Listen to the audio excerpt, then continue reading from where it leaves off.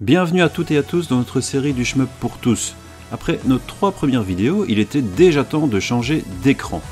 Quittons donc le téléviseur pour un écran portable, en l'occurrence celui de la Sega Game Gear, la console 8 bits de Sega qui, en 1991, a accueilli un représentant inédit de la grande série à l'est de Compile. GG à l'est transpose pour la première fois le modèle à l'est sur une console portable, avant sa suite GG à l'Est 2, que l'on connaît aussi en Europe sous le nom de Power Strike 2. Hélas, le premier GG à lui, ne sortira pas du territoire japonais, ce qui explique en partie sa cote très élevée en occasion. Heureusement, on peut maintenant y jouer légalement dans la compilation à Collection du studio M2. Y jouer dans des conditions confortables en plus, avec un écran de meilleure qualité, que ce soit sur PlayStation 4 ou Nintendo Switch. N'attendons pas plus longtemps, je vous propose de retrouver notre héroïne Elinor, la même que dans Musha sur Mega Drive, qui part ici pour une mission portable et, vous allez le voir, très accessible. Allons-y pour ce premier stage de GG à l'Est. C'est parti, vous voyez notre tir de base qui tire droit devant lui. Euh, ici on va se calmer un petit peu pour regarder le scrolling qui part déjà un petit peu de manière latérale. Et voici notre tir, donc euh, tir de base qu'on va vite euh, euh, qu'on va vite améliorer, comme vous pouvez le, vous allez bientôt pouvoir le constater. Quelques petits ennemis ici pour se mettre en jambe. On va arriver directement à la première, ici à la première arme secondaire, donc qui s'appelle homing, donc c'est des tirs à tête chercheuse. Vous pouvez le voir sur la droite de l'écran dans le gadget euh, spécial de cette version de M2 sur Switch, donc ici. Ici, vous voyez apparaître le premier W comme Wave, donc euh, une petite vague qui liquide les ennemis vers la gauche et vers la droite. Si vous avez été attentif, j'ai déjà récupéré quelques petits, euh, quelques petits bonus marqués P en rouge qui permettent, eux, d'améliorer le tir global. Ici, vous voyez en haut à droite que je suis déjà au level 2 ici le Defense Fire, donc une petite euh, défense supplémentaire. Voilà, je vais parler directement des ennemis qu'on vient de voir ici, qui se divisent en deux, qu'on va retrouver fort fort fort souvent dans, le, dans la partie. Bien attention à, ne, bien les gérer. Ici le Napalm, le Napalm très intéressant parce qu'il euh, élimine beaucoup de tirs ennemis. Ne pas trop se précipiter ici et bien observer le, le, déplacement de ces petits, euh, ces petits modules. Ici, je pense que c'est la dernière, donc c'est plus ou moins la même chose que le napalm finalement, qui tire très très fort aussi devant lui. Ah non, j'avais oublié le laser qui arrive ici, et surtout le power, donc qui permet de nous passer, comme vous voyez sur la droite de l'écran ici, le laser en level 2. Toujours ces petits P en rouge à récupérer pour euh, augmenter son tir principal. On est déjà au level 5, comme vous pouvez le voir, ici à ce niveau-là. Je suis repassé euh, à mon arme préférentielle, donc la tête chercheuse, le H de homing, qui se situe déjà en niveau 2. Donc quand vous avez une arme en niveau 2 et que vous ne perdez pas de vie évidemment, si vous changez d'arme secondaire, eh bien elle, sera, elle gardera le même niveau que la précédente. Donc ici on a gardé le niveau 2 du laser pour passer au homecoming. Vous pouvez remarquer que même avec cette arme, j'ai parlé du napalm qui éliminait pas mal de, de, tirs ennemis, mais aussi les autres armes permettent de, supprimer quelques attaques ennemies pour ne plus avoir que, euh, que quelques petites projectiles à éviter. les ennemis nous arrivent assez vite dessus, donc euh, je vous conseille plutôt de vous positionner assez bas si vous ne connaissez pas bien le jeu. Mais on arrive déjà au premier mid-boss. Cette partie est indestructible, donc il faut éviter les petites boules. Et ici par contre, vous y allez gaiement quand l'ennemi s'arrête de tourner. C'est le moment de lui en mettre plein la vue. Voilà, il est déjà battu. Et on poursuit en entrant dans la base et en sortant par ce tunnel. Musique très agréable comme vous pouvez l'entendre, pour de la Game Gear c'est assez, euh, assez chouette. Hein encore un P de power qui s'affiche et donc il va nous permettre de passer au niveau 3 qui commence à devenir très intéressant pour ces têtes chercheuses, pour ces missiles à tête chercheuse qui euh, vont permettre de nettoyer pas mal de pas mal de tirs adverses et pas mal d'ennemis tout court d'ailleurs. Au niveau du tir principal, on se situe, vous le voyez en haut à droite, au niveau 6. Ah, eh bien voilà. C'est l'occasion de repasser au niveau 5. Voilà, quand on perd une vie, eh bien on perd un niveau d'armes d'armes euh, normales, je veux dire, d'armes principales, et un niveau d'armes secondaires. Ici, donc, je suis repassé Justement, ici, je viens de repasser au niveau 6, mais j'étais retombé au niveau 5. Et je vais repasser ici en l'arme secondaire au niveau 3. Excusez-moi si je suis un peu confus, mais bon, je vous commente à l'écran ce qui se passe. Ce n'est pas toujours facile de tenir le fil. ce décor spatial qui nous amène au premier boss. Alors lui, qu'est-ce qu'il fait? Eh bien, il tire devant lui, comme vous pouvez le voir, et il envoie ses petites boulettes. Donc, bien se positionner, bien s'échapper, et comme disant, fuir quand il nous, tourne dessus. Il a déjà fini sa première forme. Sa deuxième est très facile, pourquoi? Parce que vous voyez, les tirs, eh bien la plupart des tirs, on va pouvoir les détruire et donc ne pas s'en occuper. C'est terminé pour lui.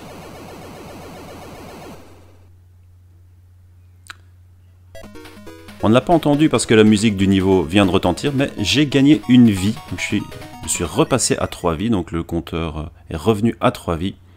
Vous voyez en haut à gauche de l'écran ici un autre gadget de cette Alest Collection qui nous dit dans 88 000 points, on va gagner une nouvelle vie aussi, donc ça peut être intéressant. Alors dans ce stage-ci, de nouveau, ces ennemis bien comprendre... Ah ben voilà, bah, je fais bien de le dire, voilà, je n'avais pas bien compris leur positionnement justement ici. Bon, je vais essayer de me reprendre.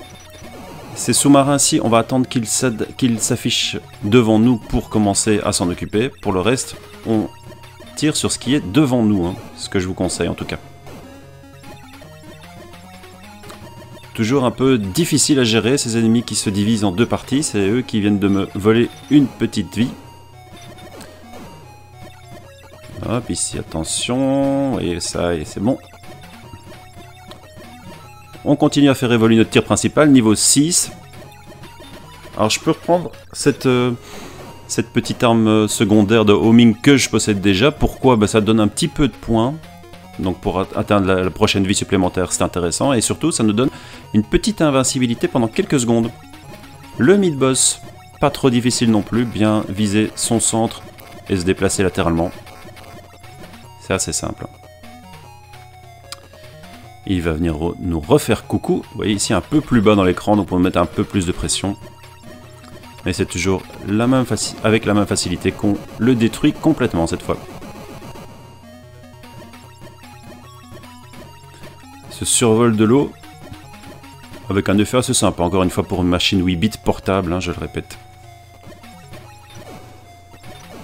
Vous voyez que le jeu ici nous permet de, de nous refaire notre équipement selon l'arme secondaire que l'on préfère, et comme on possède déjà celle qu'on préfère, on va la garder.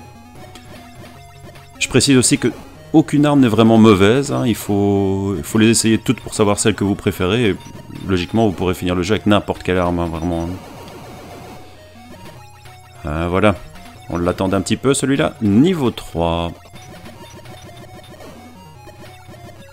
C'est ce que je disais avec les sous-marins. Donc bien les laisser arriver devant vous avant que vous en occupez. Sinon euh, vous allez perdre de l'énergie pour rien. Ici, ça me semble un peu risqué d'aller chercher le H juste pour euh, un petit peu de points. Voilà, donc je vais passer devant lui.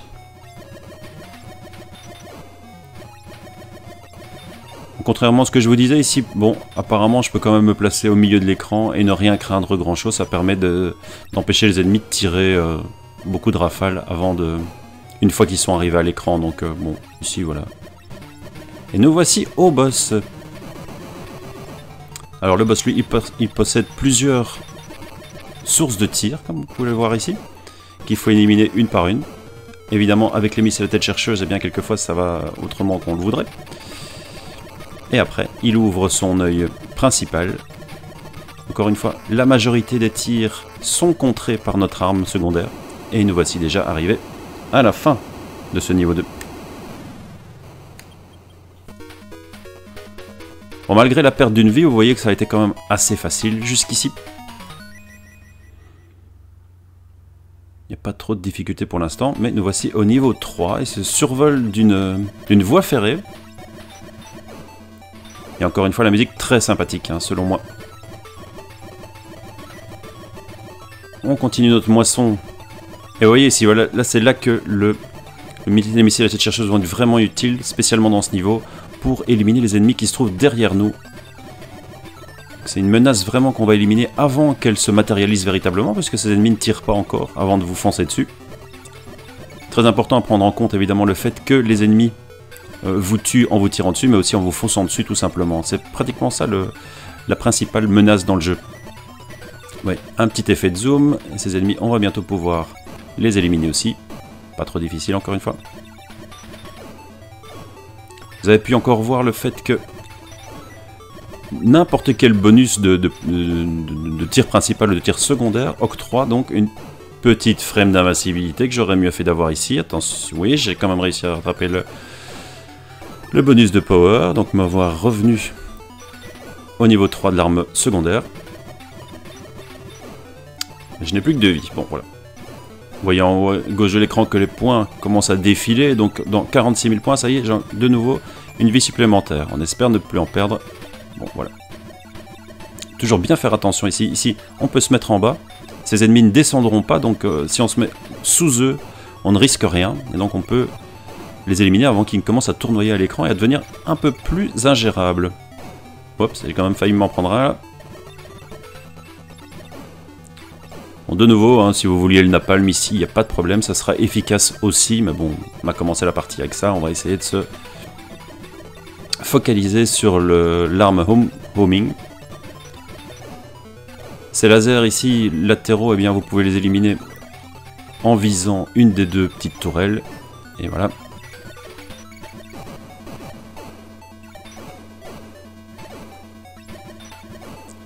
C'est déjà un peu plus animé dans ce niveau, hein, comme vous pouvez le constater. Il y a beaucoup plus de, déplacements différents d'ennemis. Et me voici donc au niveau maximum de l'arme secondaire, qui là va faire du bien. Spécialement ici où vous avez entendu le petit carillon qui sonne l'arrivée d'une vie supplémentaire. Donc on est de nouveau à 3 vies. C'est pas si mal. Voici l'affrontement déjà de ce niveau 3, avec un boss qui se cache dans le fond du ravin, et donc on ne peut pas encore, vous voyez, il est toujours un peu trop tôt pour lui tirer dessus, donc ici on se déplace encore une fois uniquement latéralement si vous le voulez, pour éviter ces grosses boules rouges, il y a de la place, pas de problème. Et voici le moment où vous allez pouvoir tirer dessus, très facilement, parce que vous voyez, il a quelques petits euh, drones qu'il vient de lancer sur les côtés, mais mon missile, mon arme à tête chercheuse les a, les a éliminés directement sans que je doive m'en soucier. On recommence ici, il est de nouveau à portée de notre tir. Et il est déjà vaincu, donc vraiment facile ce boss. Et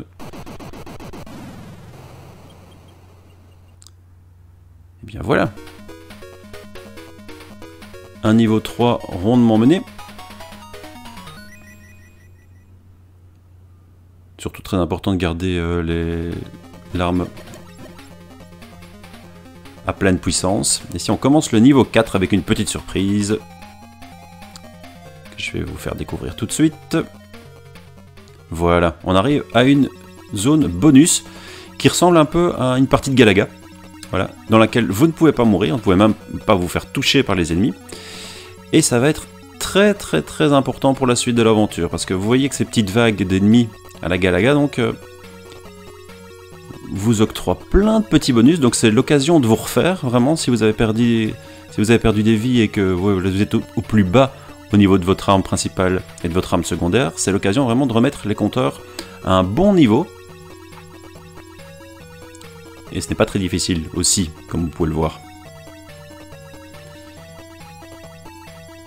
Par contre, quand vous avez l'habitude de jouer au jeu, c'est une phase qui sera peut-être un peu longue. Devoir se la retaper à chaque fois, c'est pas ce qu'il y a de plus gai dans le jeu, je vous l'avoue. Surtout que c'est pas très difficile à gérer.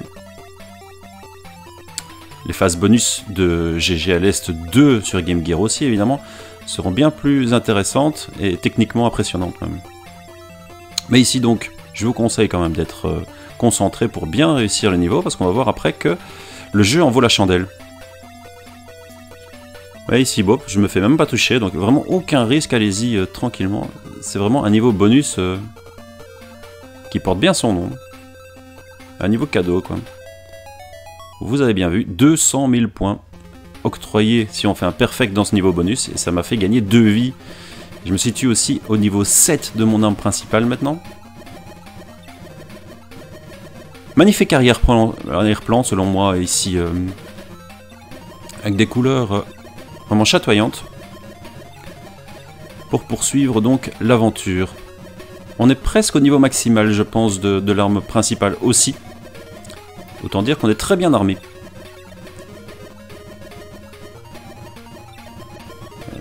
Euh, voilà, quand il y a de la place, je vais aller chercher ce power qui me donne encore une fois une petite frame d'invisibilité. Enfin, une petite phase d'invincibilité, quelques secondes. Et voici le boss. On se met bien au milieu, pour ne pas avoir de mauvaises surprises. Pour le moment, il nous tire un petit peu de partout, mais pas au milieu, justement.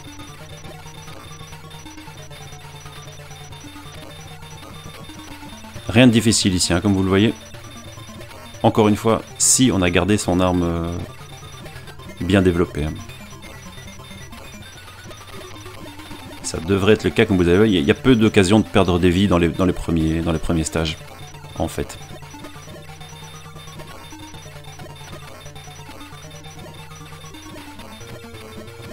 Voilà, c'est peut-être un peu long ici. Le boss se défend comme il peut. Et là, il va nous enquiquiner un petit peu plus parce qu'il va nous forcer à bouger de notre zone centrale. Ici, en bougeant un tout petit peu pour ne pas se prendre les nuées vertes qui nous arrivent dessus aussi, vous voyez. Il annonce... Et eh ben voilà. Et encore une vie de gagner, ce qui nous fait 6 vies. On commence à être bien là.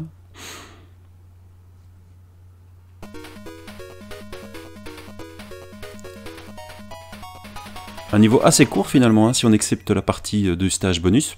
Et voilà qui nous mène au stage 5, avec, comme vous l'entendez, la, la musique typique des boss. Pourquoi? Parce qu'on affronte directement un énorme boss, une forteresse volante. On va survoler. Un classique aussi des shoot up évidemment. Vous le voyez aussi, euh, l'ennemi, ici les, énormes... Euh, les énormes canons annoncent annonce leur tir par une petite lueur verte. C'est le moment de se barrer quand, vous voyez ça devant vous. Il y a pas mal ici d'endroits à détruire si on veut simplifier la vie. Rien n'est véritablement obligatoire, on peut échapper tout simplement au tir. Ici, je voilà, je, crois, ah, quand même j'ai réussi à les, à les détruire, mais c'était pas, c'était tout à fait facultatif. Ici, si on se place correctement, ici, quasiment au milieu, eh bien, il n'y a pas trop de danger. Hop, un petit peu, un petit peu de navigation ici quand même. Et on avance sur cette forteresse volante. Pour arriver à ce qui sera, eh bien, voilà ici, la partie principale.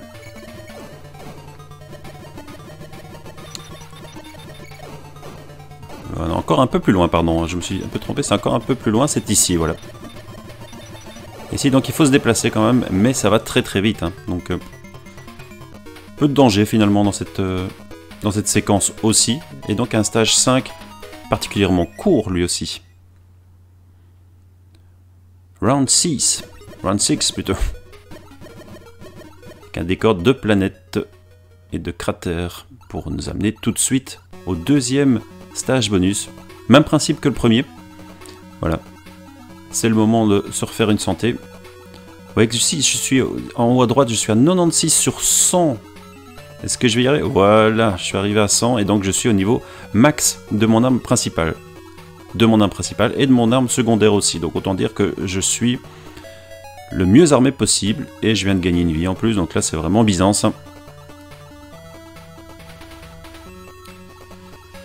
Ce qui veut dire quoi? Ce qui veut dire que le stage bonus, eh bien encore peut nous sembler un peu long, vu qu'ici on a peu de choses à gagner, si ce n'est, si ce n'est, et ça c'est très important, si ce n'est le super bonus qui nous attend à la fin en faisant un perfect. Donc, même si ce n'est pas très difficile, on va quand même se concentrer pour ne rien rater, et donc profiter de ces 200 000 points, j'espère que je vais encore les avoir.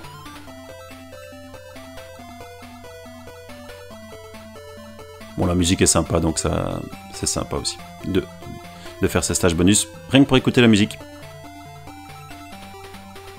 Ouais, sur la gauche de l'écran, il y, a une petite, euh, une petite zone music dans cette Alice Collection qui donne à chaque fois le nom du compositeur pour chaque musique.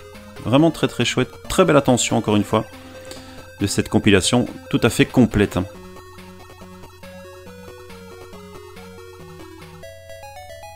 Et voilà, 200 000 points et on est à 9 vies. C'est pas si mal. Hein. C'est pas si mal. C'est pas si mal en, sachant en plus que, contrairement à certains de up, quand vous perdez une vie, vous ne perdez pas tout votre armement, mais seulement le dernier niveau que vous avez euh, atteint. Donc, euh, à moins de perdre plusieurs vies de suite, ce qui peut arriver, hein, mais à moins, de, perdre plusieurs vies de suite, vous êtes quand même bien paré pour, euh, pour ce qui vous attend. De nouveau, ces ennemis qu'on peut tout simplement éliminer en se plaçant sous eux.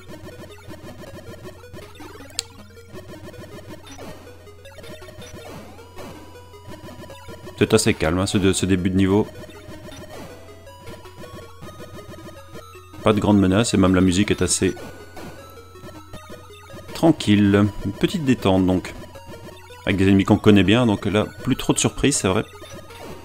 Les ennemis qui se scindent en deux parties, on les a vus depuis le début du jeu, donc on est censé quand même maintenant bien pouvoir les aborder. Des missiles qui nous tombent dessus, mais à une vitesse très réduite. Et de nouveau ici, je pense que ça va être le cas. Hop, attention quand même. J'allais dire mon tête chercheuse va éliminer tous les ennemis sur le bas, c'était pas le cas justement. C'est donc pas une assurance tout risque, hein, cette arme euh, à tête chercheuse, mais bon, ça fait quand même le boulot. Bah, ici, elle met quand même un petit peu, comme vous pouvez le voir, parce que le stage devient un peu plus dense, là, voilà. Et on ralentit encore un petit peu, pour arriver certainement, vous vous en doutez, à un nouveau boss. Et la musique nous l'annonce d'ailleurs. À quoi est-ce qu'il ressemble? Eh bien, à peu de choses près au boss du niveau 2, si ma mémoire est bonne. Donc plusieurs zones à, détruire, en faisant là, ici, bien attention à cette nuée de boules qui nous arrive dessus. C'est assez... Euh, ça peut être assez surprenant si c'est la première fois qu'on rencontre ce boss. Hein. vu qu'on n'a pas eu beaucoup l'occasion de se... De, se frotter à ce genre d'attaque. Hein. C'est reparti, vous avez entendu la musique qui a de nouveau sonné les vies supplémentaires, mais vous voyez sur la droite de l'écran euh, qu'on a 9 vies. Par contre, si vous regardez sur le gadget de la list collection, sur la gauche, juste en dessous de la tête du personnage, eh bien vous voyez qu'on a en fait 16 vies restantes. Rest Ships 16. Eh bien, on a gagné 5 vies avant d'atteindre ce niveau-ci. Un niveau qui propose la musique que je préfère du jeu. C'est sympa parce que c'est une musique qu'on va entendre assez longtemps. Pourquoi? Parce que ce niveau-ci est assez long et malheureusement, malheureusement il, est redondant aussi. Donc euh, bon voilà. Autant que la musique soit agréable à écouter. Je dis qu'il est redondant, par contre, son aspect général est assez, agréable, hein, la première fois qu'on le, le voit. Je me répète encore, mais pour une console 8 bits portable, hein, la Game Gear en l'occurrence, c'est assez sympa cette, euh, ce container à survoler. Et surtout ceci, vous voyez, hop. On descend de plus en plus bas dans la base ennemie. Vous vous dites donc à raison qu'on arrive quasiment à la fin du jeu, c'est le cas. On commence à entrer dans les zones ennemies les plus reculées.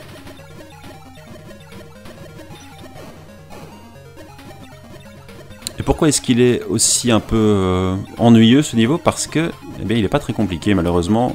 Arrivé à ce stade, vous avez certainement bien augmenté votre puissance de feu et donc euh, il y a beaucoup de choses qui beaucoup d'attaques qui ne seront plus véritablement euh, une menace pour vous, qui ne vont plus vous impressionner. Et donc vous risquez de trouver un peu le temps long dans ce niveau 7.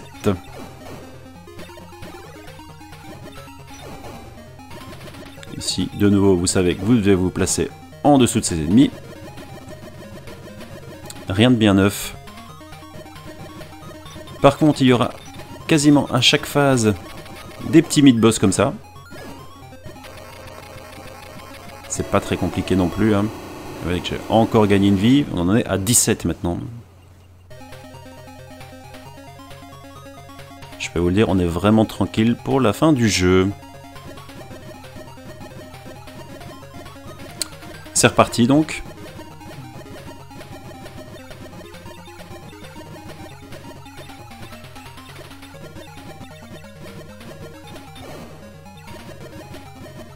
Ouais, je vous laisse écouter la musique parce que finalement il n'y a pas grand chose à dire sur ce niveau. Hein. Je, l'ai déjà dit, mais il n'y a, pas, a pas de nouveauté en termes d'attaque. Euh, c'est un peu dommage. Là, il y a eu un petit problème, je trouve, d'équilibrage dans l'apparition des ennemis. On aurait pu en garder encore un petit peu sous la pédale. Mais bon, on va pas se plaindre non plus. On en est déjà quasiment à 25 minutes de jeu aussi, hein, donc... Euh, ce niveau un peu long et risquait d'être vraiment très long et très énervant pour euh, les possesseurs de Game Gear avec les piles de l'époque, hein, si vous voyez ce que je veux dire, avec l'autonomie assez faible de la Game Gear vous aviez envie que ça se termine. Ce mid-boss, lui, il apparaît et il disparaît en nous envoyant quand même pas mal de boulettes, donc lui, faut faire un petit peu attention. Et on descend encore.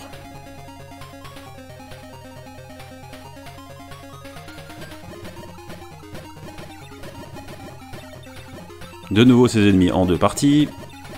Cette fois-ci avec notre, notre, arme, notre arme secondaire à la puissance maximale, eh bien, on doit quasiment plus bouger pour aller tirer sur ces deux parties. Le jeu fait quasiment tout tout seul, là. Voilà quand même ici une petite nouveauté, ces ennemis qui viennent d'apparaître. Si je ne me trompe, c'est la première fois qu'on les voit. Voilà.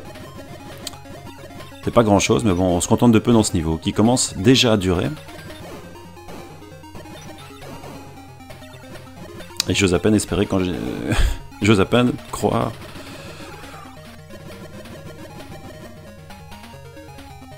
que les piles des possesseurs de Game Gear tenaient jusque-là sans sourcil. Voilà, ici quand même, il y avait une petite attaque latérale à éviter. Pour le reste, c'était toujours un petit peu ronronnant comme niveau. Ne vous inquiétez pas, on va arriver vers quelque chose de beaucoup plus sympathique pour clôturer la partie. Et qui va forcément laisser une bonne impression, qui aura laissé une bonne impression aux joueurs de Game Gear de l'époque aussi. Avec un boss vraiment, je vais pas dire iconique parce que le jeu n'est quand même pas à ce niveau de culte. Mais si vous avez joué à GG à l'Est à l'époque, eh bien vous vous en souvenez certainement de ce boss.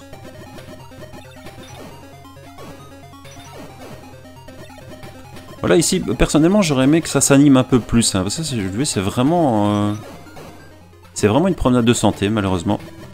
La musique du boss, voilà.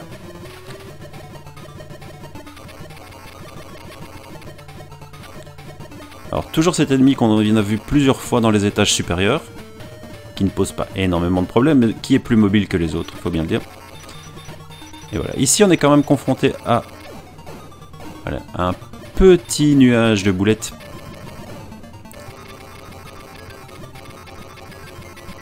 faut veiller à éviter. Et voilà. C'est terminé pour le niveau. On va vraiment aller jusqu'en bas du bas, au fond du fond, avec nos 18 vies.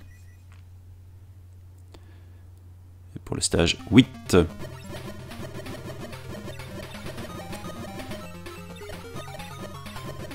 Hop, un stage un peu organique, hein, vous voyez sur les côtés... Euh, c'est pas grand chose évidemment, hein. techniquement, bon la Game Gear n'était quand même pas capable de, donner des décors euh, plus impressionnants que ça, mais bon, c'est une petite touche qui donne une ambiance au jeu, tout simplement. Voilà, c'est ça qu'on demande, avoir des décors un peu évocateurs, tout simplement. Voilà, quelques points de repère évocateurs et une action surtout très soutenue, la plupart du temps dans ce GG à l'est, sans ralentissement quasiment. sans, sans ralentissement du tout même, je pense aussi. J'ai bien fait attention.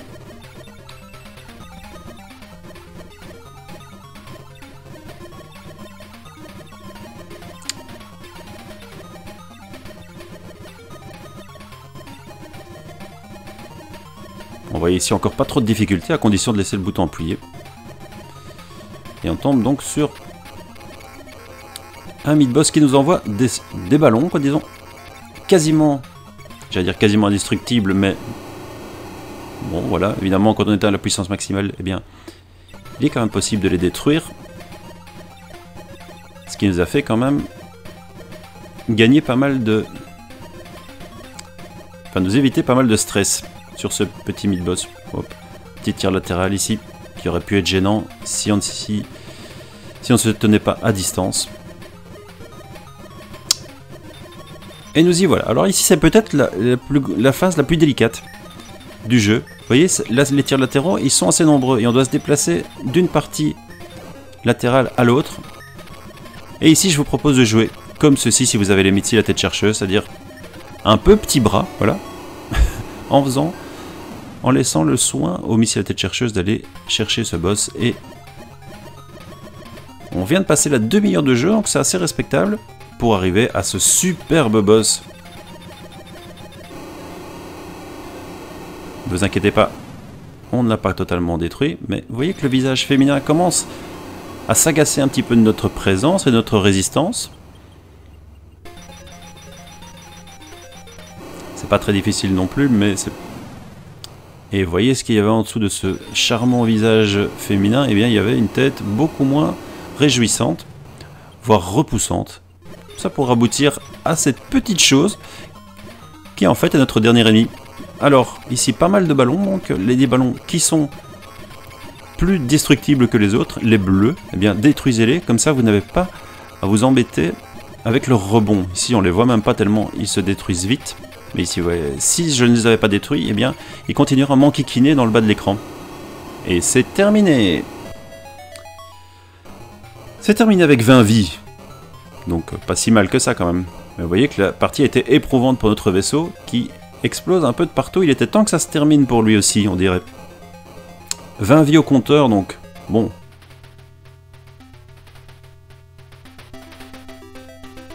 Et voilà, on va rentrer à la base. Notre mission est accomplie. Notre vaisseau est un peu en sale état, comme vous, pouvez le voir.